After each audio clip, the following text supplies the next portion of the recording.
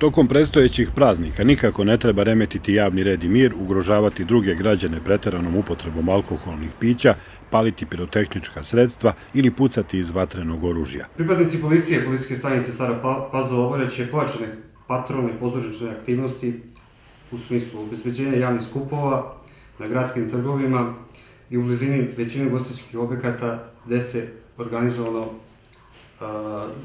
dočekuje Nova godina i božićni praznici. Prvi čovek staropazovačke policije apelovao je da se pirotehnička sredstva ne kupuju od uličnih preprodavaca i na pijačnim tezgama. Zakonom je izrečito zabranjeno upotreba pirotehnike u zatvorenom prostoru, na javnim mestima gde se okuplja veći broj lica, kao i prodaja pirotehničkih sredstava maloletnim osobama. Neovlašćena lica koja ne poštuju zabranu biće sankcionisana, a pirotehnika će biti oduzeta. A građani smatraju da je krivica za petarde u roditeljima.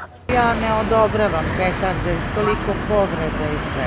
Da čovek se zamisli nešto u kući, zaradi se jedno ono bomba, vo, pa to je strava. I to treba i roditelji, a to roditelji pitanje da li mogu sprečiti ili ne, jer oni im to praktično i kupuju. Za vreme praznika policija će preduzimati pojačane kontrole saobraćaja. Zoran Lazić je apelovao da građani obezbede svoju imovinu. Da ne ostavljaju ključeve ispod otirača, saksija.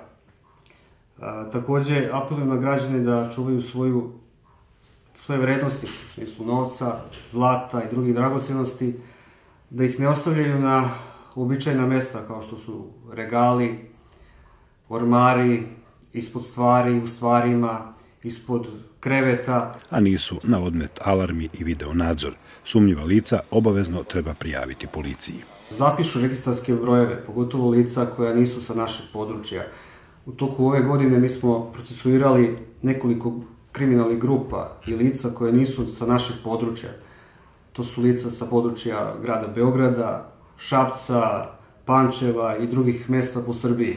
Građanima je na raspolaganju e-mail adresa policija.stpazova.gmail.com i brojevi telefona u Staroj i Novoj Pazovi.